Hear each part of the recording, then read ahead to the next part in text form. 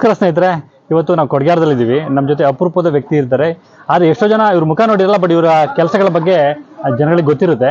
So ಏನು ಅಂತಂದರೆ, ಈ ಕೊಡಗ್ಯಾರದ ಭಾಗದಲ್ಲಿ ಇವರು ಚಿಕ್ಕದೊಂದು ಅಂಗಡಿ ಇಟ್ಕೊಂಡು ತಮ್ಮ ಸಮಾಜ ಸೇವೆಯನ್ನು ಮಾಡ್ತಾ ಇದ್ದಾರೆ.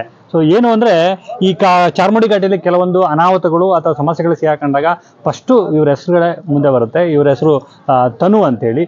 ಸೊ ಇದರಲ್ಲಿ ಜಾತಿ, ಧರ್ಮ ಯಾವುದೂ ಇಲ್ಲದಲೇ ಅವರು ತಮ್ಮ ನಿಸ್ವಾರ್ಥ ಸೇವೆಯಿಂದ ಯಾವುದೇ ಲಾಭ ಇಲ್ಲದೆ ಸೇವೆಯನ್ನ ಮಾಡ್ತಾ ಇದ್ದಾರೆ. ಜನಗಳಿಗೆ ತುಂಬಾ ಅನುಕೂಲವಾಗಿದೆ. ಇವತ್ತು, ಆ ತನುವರ್ನ ನಾನು ಚಿಕ್ಕ ವಯಸ್ಸಿಂದ ಇವ್ರು ನೋಡಿದ್ದೀನಿ ಸೊ ಇವ್ರ ಸಾಧನೆ ಬಗ್ಗೆ ಕೇಳಿದ್ದೀನಿ ನೋಡಿದ್ದೀನಿ ಬಟ್ ಇವತ್ತು ಅವರ ಅಮೂಲ್ಯವಾದ ಮಾತುಗಳನ್ನು ಕೇಳೋಣ. ಹೇಗೆ ಈ ಒಂದು ಎಲೆಮರೆಂತ ಕಾಯಿಯಂತೆ ಇವರು ಕೆಲಸ ಮಾಡೋದು ಯಾವ ರೀತಿ ಮಾಡ್ತಾರೆ ಅಥವಾ ಏನು, ಯಾರ ಸ್ಫೂರ್ತಿ ಅನ್ನೋದು ಅವ್ರನ್ನ ಕೇಳೋಣ. ಬರೀ ತನುವರ್ನ ಅವರ ಒಂದು ಸಾಧನೆಗಳು ಅಥವಾ ಇದುವರೆಗೆ ಏನು ಮಾಡಿದ್ದಾರೆ ಅಂತೇಳಿ ಅವ್ರನ್ನ ಕೇಳೋಣ ಬನ್ನಿ. ನಮಸ್ಕಾರ ತನು ಅವರೇ. ನಮಸ್ತೆ. ನನ್ನ ಹೆಸರು ತನು ಅಂತ.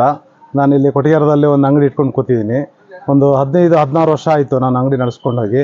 ಆಮೇಲೆ ನಾನು ನ್ಯೂಸ್ ಮಲೆನಾಡು ಅಂತ ಒಂದು ಚಾನಲ್ ಇದೆ. ಮತ್ತು ವಾರ್ತಾ ಭಾರತಿ ಒಂದು ಪತ್ರಿಕೆ ಇದೆ, ಅದ್ರದ್ದು ವರದಿಗಾರ ಮಾಡ್ತಾ ಇದ್ದೀನಿ. ಇಲ್ಲಿ ಏನಿಲ್ಲ, ಪ್ರವಾಸಿಗರು ಜಾಸ್ತಿ ಬರ್ತಾ ಇರ್ತಾರೆ ಇಲ್ಲಿ. ಶೃಂಗೇರಿ, ಹೊರನಾಡು ಹಾಗೂ ಧರ್ಮಸ್ಥಳ, ಈ ದಕ್ಷಿಣ ಕನ್ನಡ ಜಿಲ್ಲೆ ಮಂಗಳೂರಿಗೆಲ್ಲ ಪ್ರವಾಸಿಗರು ಹೆಚ್ಚು. ಆಮೇಲೆ ಇಲ್ಲಿ ಚಾರ್ಮಾಡಿ ಘಾಟಿಯಲ್ಲಿ ಒಂದು ಸೌಂದರ್ಯವಾಗಿ ಒಂದು ಜಲಪಾತಗಳಿದ್ದಾವೆ ಮತ್ತು ಇಲ್ಲಿ ರಾಣಿಜೇರಿ, ದೇವರು ಮನೆ ಇಂಥ ಪ್ರವಾಸಿಗಳು ಬರ್ತಾ ಇರ್ತದೆ. ಇಲ್ಲಿ ಚಾರ್ಮಾಡಿ ಗಡಿಯಲ್ಲಿ ಸಿಕ್ಕಾಪಟ್ಟೆ ಒಂದು ಆಕ್ಸಿಡೆಂಟ್ಗಳು ಅದು ಇದೆಲ್ಲ ನಡೀತಾ ಇರ್ತದೆ. ಕೂಡಲೇ ನಾನು ಪೊಲೀಸ್ ಸ್ಟೇಷನಿಗೆ ಒಂದು ಮೆಸೇಜ್ ಹಾಕಿ, ಆಮೇಲೆ ಈಗ ಇತ್ತೀಚೆಗೆ ಬರ್ತಿರೋಂಥ ಒನ್ ಒನ್ ಟು ಅದಕ್ಕೊಂದು ಮೆಸೇಜ್ ಹಾಕಿ, ಆಮೇಲೆ ನಾವು ಇಲ್ಲಿ ಒಂದು ತಂಡ ಇದ್ದೀವಿ ನಮ್ಮದು ಗೆಳೆಯರ ಬಳಗ ಅಂತ. ನಾವೆಲ್ಲ ಹೋಗಿ ಸಾಥ್ ಕೊಟ್ಟು ಅದನ್ನು ಒಂದು ವ್ಯವಸ್ಥೆ ಒಂದು ರೀತಿಯಿಂದ ಮಾಡ್ತೀವಿ.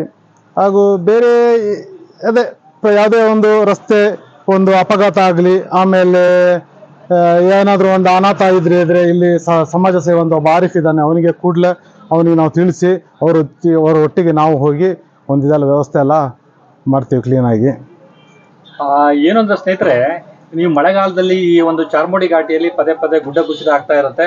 ಆ ಗುಡ್ಡ ಕುಸಿತ ಆದಾಗ ಜನಗಳಿಗೆ ಏನಾಗುತ್ತೆ ಅಂದ್ರೆ ವಾಹನ ಅಲ್ಲಿ ಸ್ಟ್ರಕ್ ಆಗುತ್ತೆ ಮುಂದೆ ಹೋಗಕ್ಕಾಗಲ್ಲ.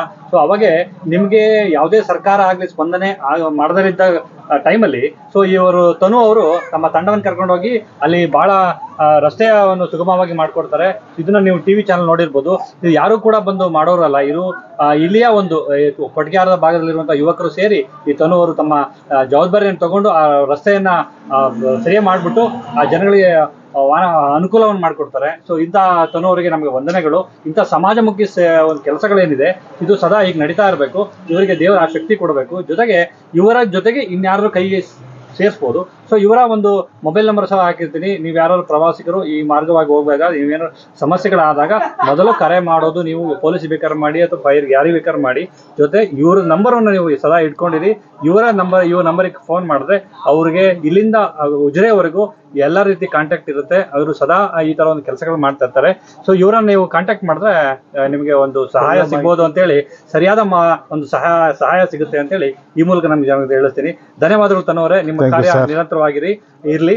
ಹಾಗೆ ನಿಮ್ಮ ಸೇವೆ ಎಂದು ಕೂಡ ಜನಗಳಿಗೆ ಮುಟ್ಟುವಂತಾಗ್ಲಿ. ನಿಮ್ಮ ನಂಬರ್ ನಾನು ದಯವಿಟ್ಟು ಹಾಕ್ತೀನಿ. ಯಾರು ಬೇಕಾದ್ರೆ ನಂಬರ್ನ ಕಾಂಟ್ಯಾಕ್ಟ್ ಮಾಡ್ಬೋದು. ಥ್ಯಾಂಕ್ ಯು ಸರ್ ನಮಸ್ತೆ.